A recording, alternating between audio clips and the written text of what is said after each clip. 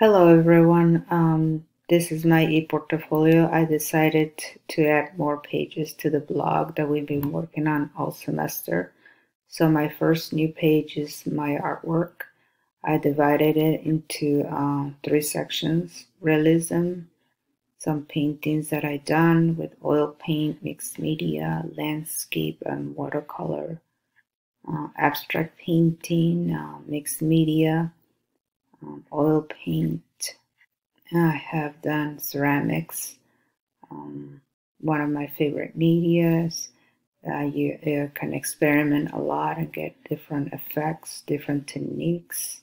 Although this done in USF when I was getting my master's degree.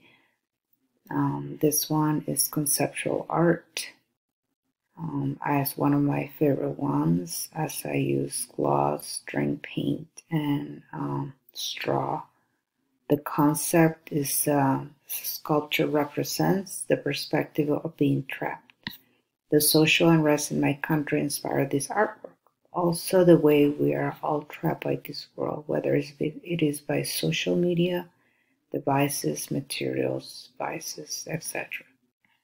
Next page is a student uh, artwork. So I show an example of a lesson plan for intermediate.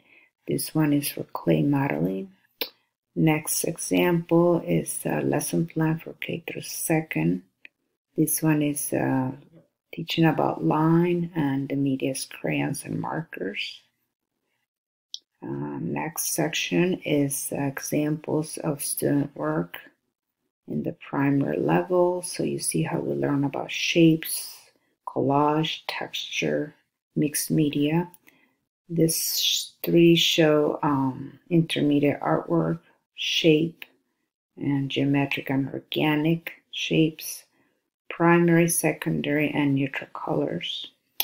Next page is my resume and uh, shows all the things that I've done, my expertise, all my certificates, um, MA, bachelor's, teaching experience. I worked at different schools.